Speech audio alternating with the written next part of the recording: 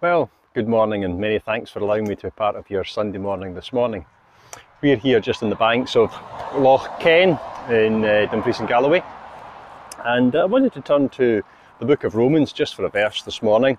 It's one of the verses we've been looking at on a Sunday afternoon down at Bridgend Gospel Hall and uh, Romans 6 verse number 23 the Apostle Paul writes this For the wages of sin is death but the gift of God is eternal life through Jesus Christ our Lord. And we do look to God to bless His word this morning. Uh, very short verse, but it's a verse that really changes and challenges our understanding of what it means to be right and get right with God. Uh, the man who wrote that verse was as surprising as that verse.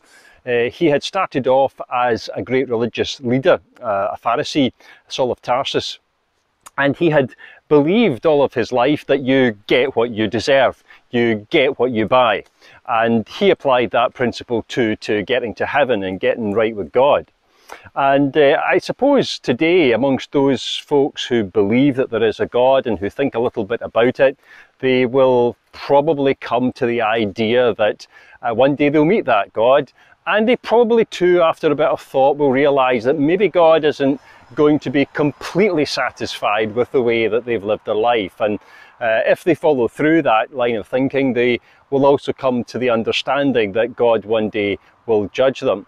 But oftentimes folks then draw the conclusion that since we're going to meet God one day and since God is going to judge us, then we ought to try very hard to impress God and perhaps even earn uh, our right into his heaven. And oftentimes in the thinking of religious people, uh, heaven is for good people, uh, hell is for bad people, and usually in the mind of religious people, I'm a good person. Well, the Apostle Paul who wrote that verse once thought like that.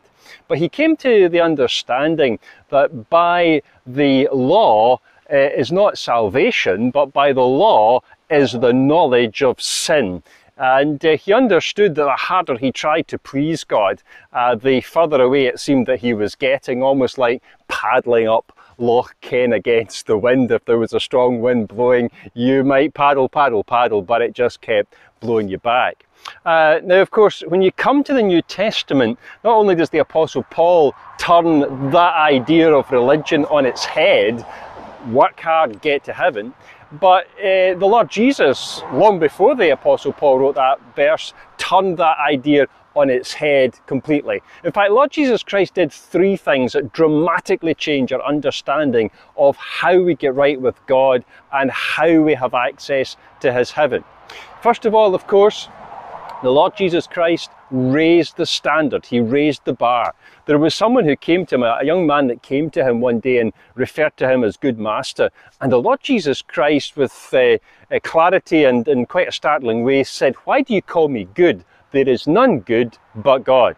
In other words, the only person that is thoroughly good, that is good enough by God's standards, is God. So God, God raises the bar. The Lord Jesus Christ raises the bar as to what God regards as good. It's not just good enough for me or good enough for you, but it's good enough for God, and there is only one that ever meets that standard. And so the Lord Jesus Christ challenged that idea. Work hard, earn, earn your place into heaven by raising the standard.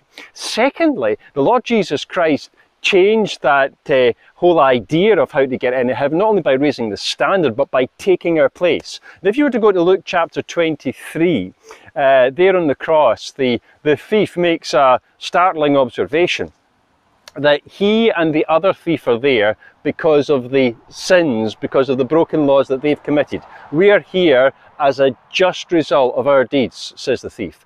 But this man, pointing to the Lord Jesus Christ, this man has done nothing amiss. And that, of course, is part of God's plan from the very beginning of the Bible. It's part of his revelation that someone would take the place of the sinner. That, that, that, that a lamb would come, Isaiah 53 speaks about it, a lamb would come and would be led to the slaughter, that he would bear the sins of many, and that by knowing him, by knowing him, my righteous servant would make many right. And so Lord Jesus Christ turned this idea of earning a place in heaven upside down. You, first of all, the standard is too high. And secondly, he goes against all of that. He didn't need to earn a way into heaven. He took the punishment for our sin. Uh, he's the one who who, who, who broke that whole way of looking at things. He, he didn't get what he earned. He got punishment, although he was absolutely perfect. And the third thing the Lord Jesus Christ did that turns our understanding of religion on its head is that he forgave sins. He not only took the place of the sinner, but he forgave sins.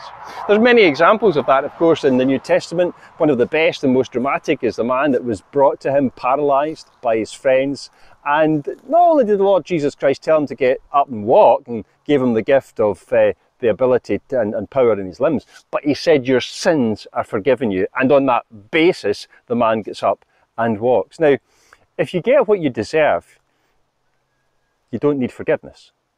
And the Lord Jesus Christ forgives, he takes the place of the sinner, and he raises the standard. And on that basis, uh, the Apostle Paul in Romans chapter 6, verse 23 says, The wages of sin is death. When it comes to sin, you get what you deserve. But listen, when it comes to eternal life and, and, and a home in heaven, it's the gift of God that is eternal life. You can't do, what can you do to earn something eternal? What can someone who, who's only here for a few years actually do to accumulate sufficient uh, good works in order to, to earn that? There are some things you could save up for and maybe get. Maybe you could save up for a car. And maybe that's within your your your your your, your scope. Uh, maybe you could aim even higher than that and, and, and aim for a house in New Cumnock. That would probably be the highest goal I'm sure that anyone could possibly have. But unlikely, isn't it, that any of us could earn enough or save enough to purchase Buckingham Palace or the Taj Mahal. It just is inconceivable. Well, here's something higher than that eternal life. So the, the, the goal, as the Lord Jesus Christ has had said earlier on, is, is too high. The standard is too high. And it is by grace here in Romans 6, verse 23. Uh, it is by grace, it's the gift of God that is eternal life through Jesus Christ our Lord. And God's God's solution to that insurmountable problem for you and I, that insurmountable problem of being good enough or earning enough or getting into heaven on the basis of what we've done. His solution is divine grace, God's loving kindness towards us in His Son in taking our place. And all we can do is receive that as a gift. We can't possibly earn it.